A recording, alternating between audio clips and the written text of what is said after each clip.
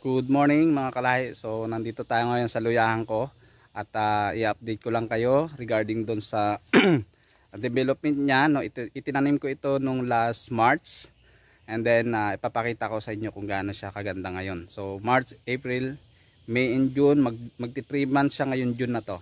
Okay? So stay tuned. Okay? Ayan na yung uh, sibol niya ngayon. No? At uh, magti 3 months pa lang. Okay ayan na yung ganyan na kaganda oh. ang ganda ng mga sibol niya matataas na siya. At uh, halos lahat ay uh, may dahon na. Okay? So uh, inabunuhan ito no? Ngayong magpapadalawang abuno pa lang siya. Okay? Although maganda naman yung lupa at uh, mayroon na rin siyang yung inilagay natin dating yung ipot ng manok no? At uh, tinutulungan tutulungan lang din ng ano ng yung abuno na binibili sa mga agriculture uh, supply para lang mas maganda yung uh, pag uh, laman niya. Kasi nga hindi maiwasan niya na magkakaroon ng mga damo at naagawan siya nung uh, ano ng vitamins ng damo. So ayun yung sa gitna so hindi pa natin pwedeng pasukin yan. Dahil nga medyo may hamog pa. At sa uh, yung mga nagtatanong kung paano ang abuno no? actually nagpadalawa na ito. Itong inaabunuhan namin ito hanggang sa apat na abuno. Hanggang sa sumibol yung dahon niya ng halos abot sa tuhod. At pag yan eh, sumibol na lahat ng halos hanggang tuhod ang dahon hindi na siya pwedeng pasukin. Okay? Kaya hanggang doon lang yung pag-aabuno. Hanggang apat na abuno lang. Okay? Ayan no? Ganda ng mga sibol. Tataas na. Okay? At saka yun makikita nyo. Ayun. Ayan no? Ayan no? May laman na siya. Okay? Ayan. Ayan no? Ayan. May laman na siya.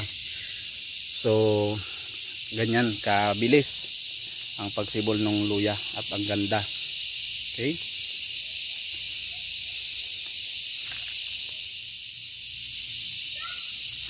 Yan mga laman na siya. So after uh, 7 to 8 months no? Ayan pwede na rin yung yung mga laman na yan malalaki na rin yan So, yun yung sinatawag nila na kutsay. Yung after 8 8 months, no. Kaya yung iba, kung mapapansin yung iba, nag-harvest na sila ng 8 months.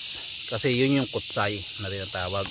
So, pero bata pa yun yung yung luya. Okay? So, kung nagtatanong kung kailan ba talaga nahaharvest ang luya, so dito sa amin, uh, nag-harvest kami ng luya is 1 year talaga. Okay? Kasi inaantay talaga namin na maging uh, magulang yung laman ng luya.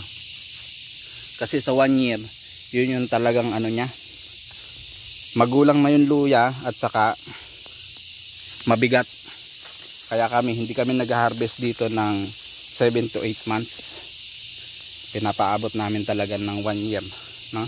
at saka malalaman nyo yan na pwede na siyang bunutin after 1 year no yan gaganda oh yan halos ano na ang pagsibol nila no? saka natanggalan na rin siya ng damo no? so malalaman nyo yan na pwede na siyang bunutin okay pag itong mga dahon na ito yan ay namatay na ang tawag niya sa amin is lugot. Kaya pinapaabot namin talaga ng paglugot ang uh, luya dito sa amin bago namin hukayin. Okay? So yan lang. Stay tuned at uh, tayo magdadamo lang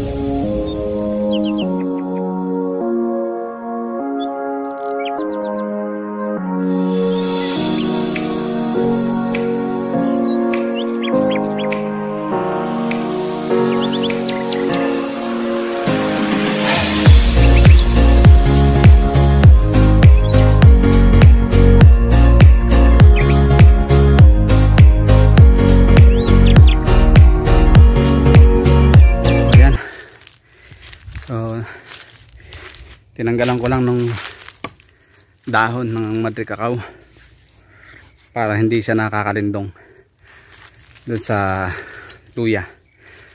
Okay? Yan may mga konti-konti pa rin namang natitirang mga damo. Pero okay lang yan. Wag lang sobrang makapal ang damo. Dahil pag yan ay sumibol na lahat at nagsabay-sabay na yung halos ang taas niyan is ganito. Yan o lahat. So yung damo niyan talo na. Kaya hindi na siya dapat pasukin dahil hindi na yan tatanggalan ng damo. Okay? So harinawang gumanda lalo ang ah, laman at ah, tayo makapag harvest ng maayos ayan. Ayan naman yung sa aking ah, bayaw. Ayan yung ah, bi- pumayana ako dati sa pagtatanim na yung first vlog ko about sa luya. So ito is halos sa 700 kilos ang may tanim dyan. Okay. mas malawak yan kumpara do sa akin tanim. Yung akin is 120 kilos lang yon okay. at ang puhunan ko doon is ah, nasa 12 to 13,000 okay. And then mag-aantay na lang yon ng ani. Okay so yan nag-aabuno siya ngayon. Padal patatlong abuno. Kaya tawak gaganda na ng mga ano sibol. Ayan yung abono ayan yung puti. Okay. ayan yung baking na puti na malaki okay. so tataas na rin ng sibol okay. okay. ayun lang at ah, maraming salamat sa panonood at ah, sana ay may natutunan kayong konting kaalaman sa aking ah, naging topic today okay thank you and God bless